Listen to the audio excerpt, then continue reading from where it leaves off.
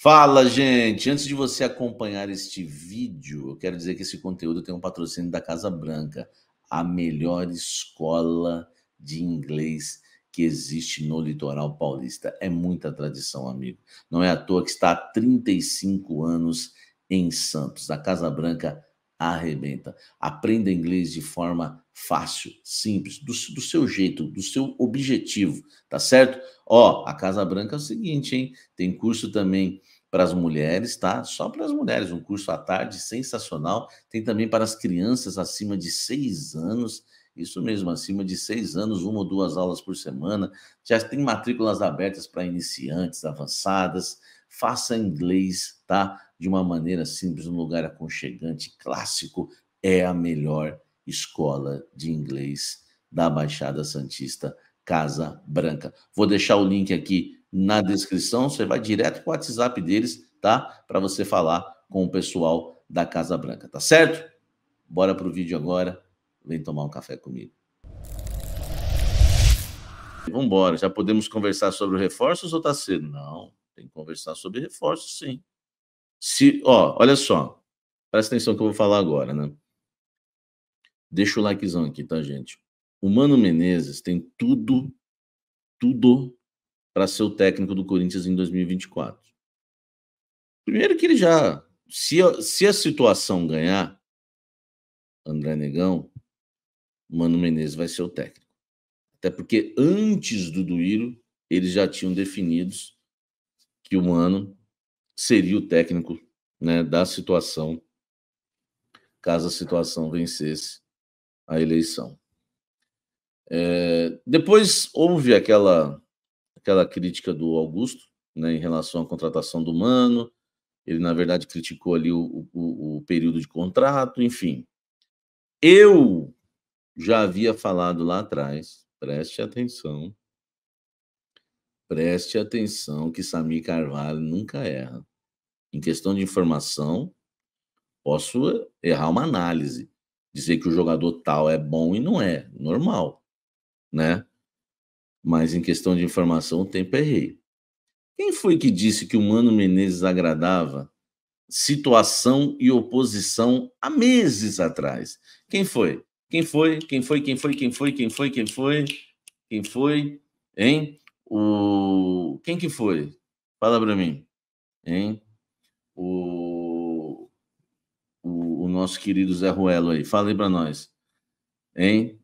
Olha só. É, eu falei para vocês. Aí, né? Eu tive um problema com esse negócio de página de, de, Instagram, pô. Tem muitas que eu gosto demais e tem outras que são muito sem noção. Tem umas que agora estão entrando em contato comigo, tal, para tirar qualquer dúvida antes de publicar. Eu falei que o Mano era o nome e seria o técnico da situação se a situação vencesse, mas eu falei que, quando eu falei do Augusto, eu falei que o, o, o, o Augusto também gostava do Mano, mas não falei que era o cara que eles iriam negociar. E hoje o Augusto está aí falando, né, publicamente, que ele nunca disse que não gosta do Mano, que não queria o Mano, entendeu? Então já ficou mais do que provado, né, que mais uma vez eu estava certo quando eu disse que o Mano agradava os dois, tá? Agora o Augusto já está admitindo. Então, quando a pergunta aí do nosso colega foi sobre é, falar de reforços para 2024, por que não? Porque o Mano, cara, tem tudo para ser o técnico do Corinthians em 2024. Com contrato até o final de 25, com multa rescisória. Depois, se vocês quiserem, eu relembro vocês como é que é essa multa. É, e agora a oposição coloca o Mano Menezes como plano A. Plano A. A oposição vencendo a eleição, eles vão tá? Eles vão ficar com o mano, vão conversar com o mano, vão trocar é, figurinhas. Só se o mano não, ó, eu ouvi isso hoje de uma fonte ligada ao Augusto. Só se o mano não gostar do projeto do Augusto, não querer ficar. Então, só para vocês terem uma ideia, é... só para vocês terem uma ideia, o, o mano, tá? Eu que falei isso, viu, o, Carlos? Do mano, eu que falei. O Mano é o nome, tá? Já falei isso há meses, da, é, da oposição hoje da situação plano A da situação e da oposição do Corinthians. Então, o Mano tem tudo, tá? Tem tudo para estar no Corinthians no ano que vem e por isso tem que já logo trabalhar em cima do, da reformulação e dos reforços. Não tem como, tá? Não tem como. Então, o Mano já tem que é, já está vendo aí os jogadores, eu acredito que já está. E uma coisa que é, uma coisa que eu quero passar para vocês, que eu acho interessante, para a montagem do Corinthians de 2024, tá? O Mano já pediu carta branca para a situação. Para a oposição, não ainda, porque a oposição não está no comando do clube. Se chegar lá, o, é, o Mano vai falar com eles, e já estão sabendo por mim aqui. Eu acho que já sabem também, porque se eu sei, o Mano, ele já, né, para acertar, ele já pediu carta branca. Ele que tinha até a chance de trabalhar na seleção da Costa Rica, tá?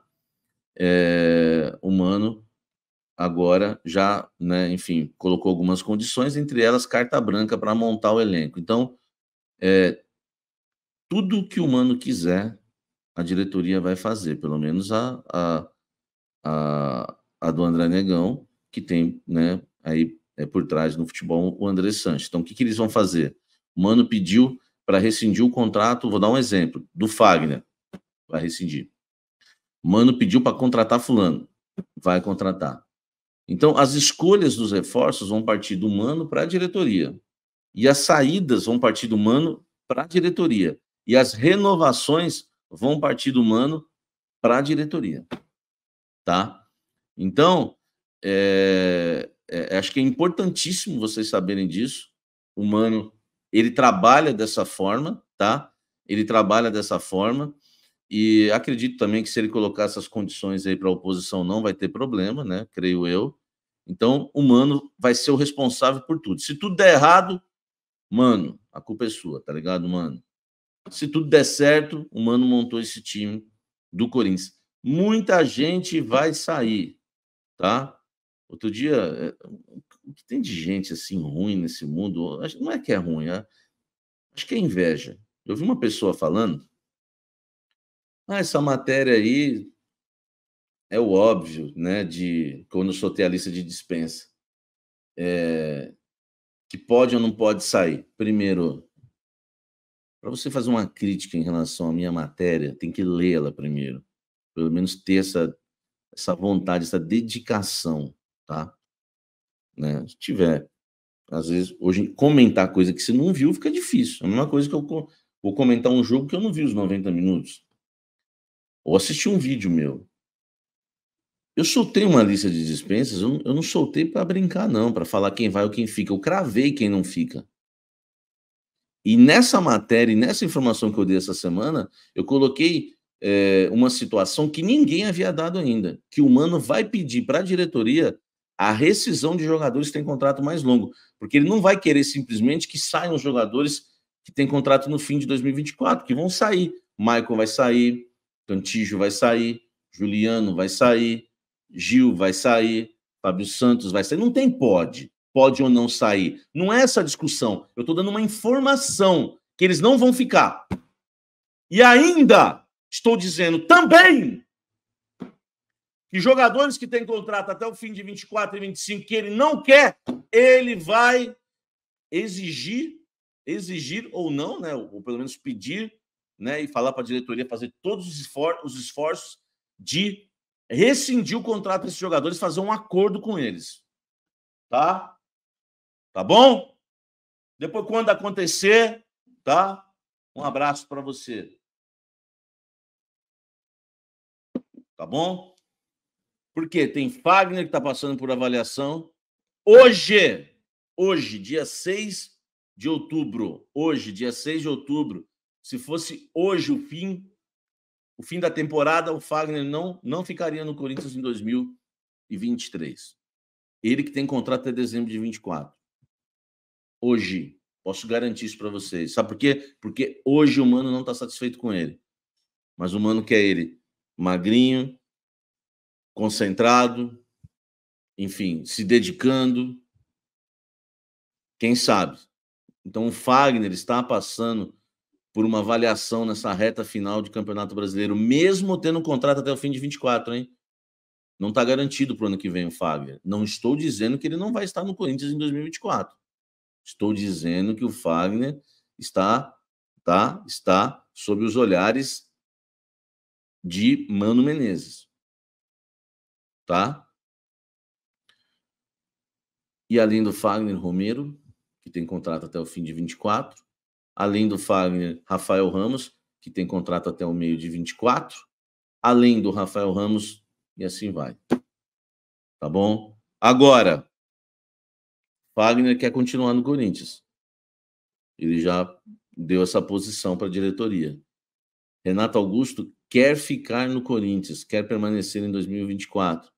Ele já colocou isso para a diretoria.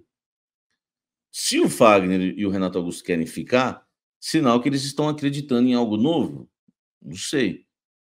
Sinal que o Fagner, por exemplo, vai querer fazer algo que ele não fez em 2023, 2022, porque o Fagner, meu amigo, ele brincou, ele brincou com o Corinthians nesses dois últimos anos. O Fagner estava acima do peso em jogos importantíssimos do Corinthians. E se não quiser acreditar em mim, acredite pelo menos no Profechô. Profechô, amiguinho Profechô. Hein? Eu não pago pau para Profechô, não pago pau para ninguém, meu irmão. Tá? Eu Comigo não tem isso. Então, é, o professor falou numa entrevista, né? Que o Fagner estava acima do peso. Agora, vocês acreditam ainda no Fagner?